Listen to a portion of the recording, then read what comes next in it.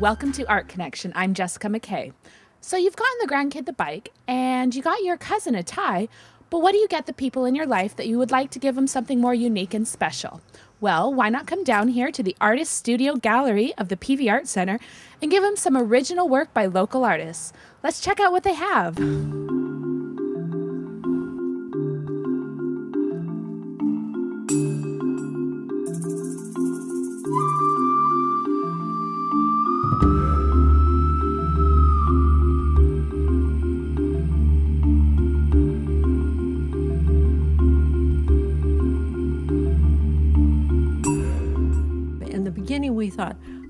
Few pieces of art and that would be great. And we've expanded to be more than just a gallery and a place for artists, local artists to sell work, but also to a family, a cooperative family. And we do, we've expanded the walls of our gallery because we now do off-site shows. We do two runway shows of wearable art at the Art Center. We do a studio tour annually.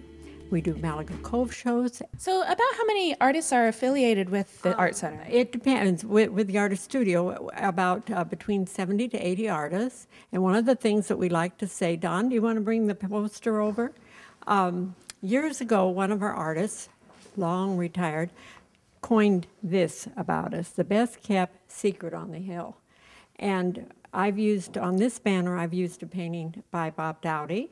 And I think this guy looks like a secret agent making a phone call. Because the wonderful thing is, we not only have art to wear that is all ranges of affordable, not only for Christmas, but year round. We're rarely closed, we're open seven days a week.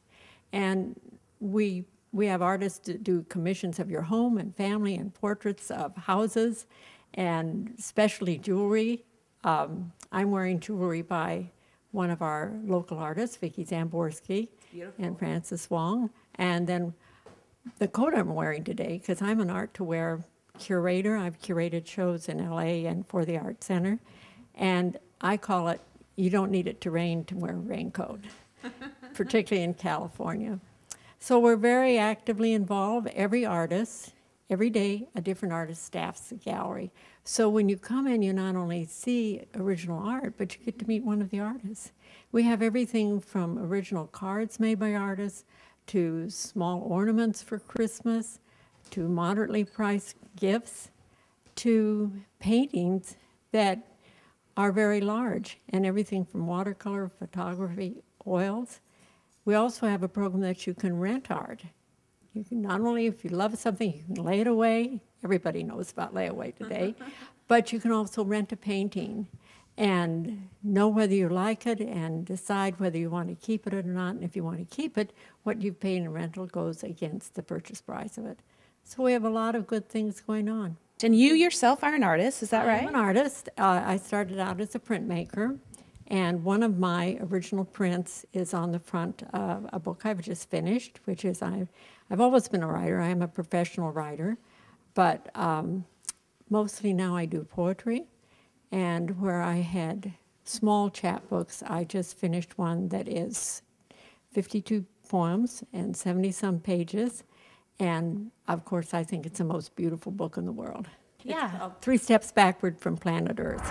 You're a 3D artist. Will you tell us a little bit about this piece that you're holding? This is Paula Pond Skater. Uh, let's see. She is made out of ceramic and found objects. And um, about three years ago, I adopted a little girl who was nine months old. And I took the year off, and we spent nearly every day outside looking around and um, discovered that she really has an affinity for bugs. And I thought, you know, let's, there are a lot of reasons why I should go with this, so I did. And um, but the thing is that with bugs, they have super skinny little legs and antennas, and they'd break made out of clay. So I thought, hey, let's let's use stuff that's not going to break. So I went to Home Depot and I looked around and I was like, oh, this would be cool, that would be cool, but it's really expensive. And then I remembered my dad. Uh, actually, my family has a building in Pomona, California that was once a hotel, and then it became a furniture store, and then it became an art gallery. And uh, all of the detritus from its various lives have ended up in the basement of this building. And so I went down there and I got a whole bunch of skeleton keys and a whole bunch of just stuff and used it. So the, these keys are left over from the hotel days. I'm not sure what they were for, but I think they look like uh, little cabinets of sorts. And then these um, actually don't come from that stockpile. Uh, I also teach at Chadwick School, I teach art, and we had a fire at the beginning of school two years ago. And um, the fire started at Crenshaw and came up the hill and stopped right on our boundary of our football field. And this is, these are shot put markers. If you look at them that way, they might oh. look a little bit oh, okay. more familiar. Um, and they got burnt. So I asked, can I have them? And they said, sure. And I thought, this would be great for those little bugs that swim in the water. So she's a pond skater. And I love what a, a, great, beautiful story that goes along with the piece as well. So it's fun that it's not only found and three dimensional, but it also has some really great meaning to it, too. Yeah, thank you. My dad is a ceramic artist, and um, he knows a lot of ceramic, really important ceramic people. And I walked into his studio one day and sat down and was like, man, I'm going to inherit all of this stuff I have absolutely no idea what it's for or even how much it's worth. I mean, I can't even sell it if I wanted to. So I learned it, how to do it, and I uh, took advantage of his resources and learned how to raku fire, which is what this is. It's a Japanese form of uh, firing the glaze onto the clay, and that's what it looks like on the other side. It's just really fun to do, and I, it's very centering for me. I have to uh, become one with myself before I can actually um, sit down and throw a ball because it, otherwise it just goes wonky and lopsided. so, with the uh, firing process, what you do is you take this piece when it's red hot, you pull it out of the, the, the kiln. It's about 1800 degrees. All of the glaze is melted in it, and you pull it out and get it into the air, which is going to be anywhere between 60 and 90 degrees. And um, the shock, the thermal shock that occurs, uh, makes these crackle glazes, it's supposed to crack, crackle. And what I've learned over the years is that if I spit on them, I can actually get a better crackle pattern. So this little spot right here, and that little spot, and that little spot is where the spit landed. And um, then what you do is put it in an environment where it smokes. So I use a metal trash can and shredded documentation. They they smoke for about 10 minutes. So the smoke then pull goes in all these little cracks and then pulls all the really cool colors out of the glazes. And um, that's what it looks like on the other side. And then I stick it in water to uh, cool it off, and wash it off, and it's done. And I title each one uh, having to do with personal aspirations of mine. This one's titled is Wonder. I started making the bugs two years ago. I've been making the larger animals for about three or four years. And um, I decided to go smaller for a couple reasons. One is that my back is lousy and they're heavy. and the other is that I started having technical problems with the clay. And I thought, let I, I changed clay bodies and I thought if I change the, the type of clay that I use and I work smaller, then if I have the same kinds of problems, um, it won't be quite as devastating. um, but also, if I um, if I have those problems, then I know that it's me and not the clay, and I haven't had the problems. So anyway, I the bugs are working for me right now, and I'm happy with them, and I might return to the animals later if I find someone who can carry them for me. Maybe when your daughter grows up. Right, yeah. About 10 years. so, there are quite a few other three dimensional artists here in the gallery. Can you uh, give us a little tour of a few of them for us, please? I'd be more than happy to. Um, this work is by Adrian Sandstrom, and the really neat thing about his, his, quite a few neat things about it, but they are a metaphor for his life. So they start at the base, they're, grounded. And he asks the question, grounded in what? That's your decision. and then as it goes up, um, when you throw a bowl, you start with this lump of clay and you stick your hand in and you pull the clay up. And the wheel that you're working on spins in a circle. So if you will imagine each layer being a circle, it's kind of like the rings on a tree. Um, he thinks of the circles as being different phases of life. And some circles are perfect and some are a little off shape and little, you know, tweaked in some ways. And that's just, you know, how life is. Sometimes it's going really well and sometimes you get kicked in the pants. so um, that's, that's kind of the story behind his actual throwing. And then his surface decoration is just astounding to me. Um, each one of these pots gets fired numerous times. So he airbrushes a bottom color, a base color on. And then he applies um, another color. And then if you look, like even on this ornament right here, the, uh, this is the effect of him going back and carving through the, the top glaze and exposing the bottom glaze. Oh, wow. So, and then here on this vase right here. And then he fires it, and then um, like this right here is a different glaze that he's put on top, and it's, I think, refired it, and um,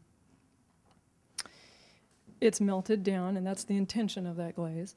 And then he, he puts a luster glaze on. So anything that has a metallic uh, finish to it is a, is a completely different firing. And they're just stunningly beautiful. Yeah. I mean, just incredible. And you did mention the ornaments, and of course, if someone did want something as a gift, it's a really nice little piece. So Mhm. And it could be hung in a window as opposed to a tree, you know, doesn't be used all year round. All year, or all winter. Well, here's another really unique 3D artist. Can you tell us a little bit about the artist and his work? Yes, this is work by Richard Terasaki. Uh, it, this is turned wood, so um, similar to ceramics, but different. He actually takes his forms from uh, the ceramic shapes, uh, the historical ceramic shapes. He learned how to turn wood from his father at a very young age. So he's been turning wood for a long time. Um, he did have a career as an engineer um, and then returned to wood once he retired. Um, one of the things that he does, uh, like this piece, he'll take, uh, I think this is a walnut and a maple. And what he'll do is take the, the pieces of wood and glue them together. So it's called laminating. And then um, he'll, he'll put it on his uh, turning um, lathe, and then he turns it on, it spins around, and then the tools carve it out. And um, it's a really beautiful piece. He, he is also unique in that he gives all of his proceeds to Doctors Without Borders. So um, he's very generous in that way. Well, thank you so much for showing us these three dimensional artists and their work. Well, why don't we check out some of the wall art? We're standing here with another of the great artists here in the gallery, Anita Gerlach. Anita's a local and uh, she does some really great stuff for the animal lovers. I love to do animals. I like to make them come to life. And the kitty up here with the ball, I used that on my Christmas card this year. So, um, and then this kitty down here, this is the first time I've done water like that. I think it turned out okay. Surprise. Tell us about this little kitten. Well, my son takes a lot of the photographs for me, and then I paint from the photograph. And my granddaughter does takes pictures too. And so this little one, I was just trying to get him so that he really looked like he was fuzzy on the stomach there. and anyway, and he's just playing with a leaf and the branch. And you do other animal paintings as well, right? I do horses, a lot of horses, and um, I went out to Shambala to uh, Tippi Hedren's place, and took a lot of photographs out there of the tigers and lions. So I did those and gave her two of the paintings of her tigers. That was fun. Well, let's go see some of the other other artists as well. So, uh, one of the photographers you have here in the gallery is this gentleman, Philip Earl. Show us his and tell a little bit us a little bit about him. Yes, he uh, does usually black and white photographs, and um, he said that he takes several pictures and then um, stitches them together and then makes the longer one. And um, he also, for Christmas, did some great calendars. Um, they're colored photos of places on the peninsula.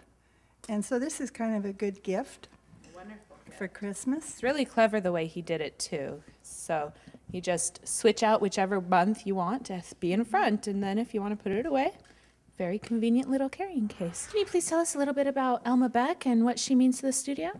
Elma Beck was such a dear friend, and she died last month. Um, her son is the chief of police in Los Angeles, and um, they had her funeral down there at Royal Palms in San Pedro. Anyway, her work is displayed here with the rest of the artists. Um, all the artists are included in the show, so she was included also. And over here we have Bob Dowdy, who is the gentleman whose painting was on the banner we saw earlier, right? That's right. And he works in what kind of medium? Uh, he works in water, watercolor, and um, he has a studio down in San Pedro, and his work is sold a lot. All right. So I understand every year there's this artist studio tour that goes on. Can you tell us a bit about that? The studio tour uh, last year was in September, and next year it's going to be September the 10th and 11th. Last year we had 11 studios on the tour, plus the two galleries, and Joy Gonzalez, whose work you're seeing right now, her home was on the studio tour. And um, it's a lot of fun. We sold over 500, about 550 tickets to come to it. We serve lunch along the way. Um, and there are other artists at the different homes displaying their work also. And it's just a lot of fun. It's, it sounds like an amazing time. And one of the other artists that uh, is, participates on the tour is Don Crocker, and we're going to go and talk to him right now. And we are here with Don Crocker. Don, um, you are one of the uh, artists here, of course, and you do oil paintings. Is that correct? Correct. Uh, generally, I do paintings outside. I do night scenes as well as uh, more uh, sunsets and uh, local scenes, all up and down the coast. But a lot of local scenes here. But I also paint in Alaska and up and down the coast. And uh, I love to do mountain scenes also. And uh, I paint from somebody's view. Various people hire me to paint their view, and I'm happy to do that. And I'm part of the artist studio tour, so on um, the artist when this artist studio tour takes place, there's lots of paintings for them to, to take a look at. And I wanted to also mention that if you are an artist and you'd like to be part of our group because it's a co-op arts group, you can come into either of our galleries up at the Art Center or down here at the Village and uh, pick up an application. We do three juryings a year, and you need to be juried into the group. But if you'd like to be, have your credentials considered, we'd be happy to have you consider that. Also, we do free gift wrapping for any of your purchases, and we have a coupon that gives a 10% discount. That if you received our card, please bring our card in announcing this show. But if you don't have a card, uh, come into our studio, pick up a card because there's cards in the counter, and ask for your 10% discount because that's a very special opportunity. But we really do have a lot of wonderful art here, as you've seen from the various uh, presenters and also from the pan of the, all the different art. So I hope you'll come in and visit our art galleries either up at the Art Center or down here at the uh, Village Gallery. And uh, there's always an artist here. There's one of the artists that participates in the show. They can talk about their art and uh, all the other art. So we hope you'll visit, and uh, we really would look forward to seeing you. And we deeply appreciate all the support we get from the community because it's really, really nice to work with a lot of local folks coming in and picking out art for their homes or businesses. Well, thank you so much, Don. I know it's a uh, it's a really special thing to have a resource like this in the community, and also for even if you're not an artist, you can come in, appreciate art, uh, patronize the artists, and get a really great Christmas present for any of your friends or family. So, if you'd like to find out more information about the Artist Studio Gallery, you can go to the website or you can just swing on by and check it out. It's located in the Village Shopping Center, right next door to the promenade and the library. See you next time on Art Connection. I'm Jessica McKay.